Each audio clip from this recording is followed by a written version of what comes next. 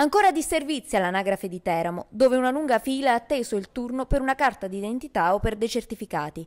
I cittadini che erano lì oramai in fila pazientemente da moltissimo tempo non criticavano tanto l'attesa quanto la mancanza di risposte concrete, perché tra le molte persone sotto il caldo di agosto diverse erano le difficoltà, anche solo a contattare telefonicamente l'ufficio, o se fortunati qualcuno è riuscito a prendere appuntamento in un orario, ma non rispettato passato.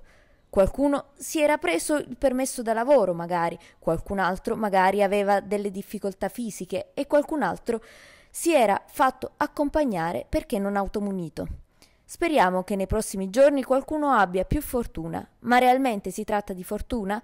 L'appello e la domanda all'assessore Core e al sindaco di Teramo per poter porre rimedio a questa situazione. Sono diversi giorni che tento di chiamare qualunque numero trovo in memoria, nessuno mi risponde. Sono venuta questa mattina personalmente per cercare di fare il cambio di residenza, non solo neanche aspettando mi fanno entrare, ma addirittura mi dicono di prenotare online. So che le prenotazioni online purtroppo a stretto giro non te lo rilasciano, quindi è diventata un'odissea riuscire a contattare io faccio appello a chi di dovere affinché eh, si possa in qualche modo intervenire per tutti i cittadini e soprattutto eh, per chi maggiormente, come dice lei, ci sono disabili, famiglie con disabili che hanno lo stesso trattamento di chi insomma, può provvedere quantomeno a fare un minimo di fila.